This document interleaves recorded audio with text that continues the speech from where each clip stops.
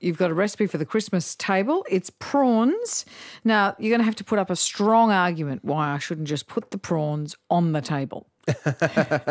Well, this uh, recipe just really makes prawns heaps more delicious. Okay. And that's by the use of the kombu butter. Kombu, if anyone doesn't know, is a seaweed that a lot of Japanese add to their dashi, which is their, their stock that they always use for the base of all their recipes. And that adds a natural umami to their stock, which is the MSG. Mm. I decided to make a butter out of it. And this butter is so versatile. It's not only great for prawns, it's great for steak, it's great for fish, it's great for, you know, putting in with, you know, a pot of mussels. So you just sort of whip the butter in either with a whisk or in a in like one of those KitchenAids. Mm. You got to whip it until it's really light. Like like the butter you get on McDonald's hot cakes. you know, so Kinda. it's got to double in size, it's got to go really pale. That's when you add the other ingredients like the finely chopped kombu, the lemongrass, the coriander, the garlic and onion powder, the parsley.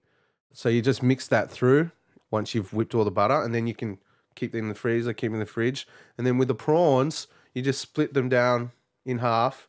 You can either uh, grill them on the barbecue, you can put them in the oven, half cook them. Then once they're half cooked, that's when you add the butter, which is already softened, and Oh. just cook them a little bit more and just Oh. finish off the cooking. Yeah. Okay, I'm convinced. And then just with a squeeze of lime, maybe a few extra chopped herbs on top. It's delicious. Perfect for Christmas, summer.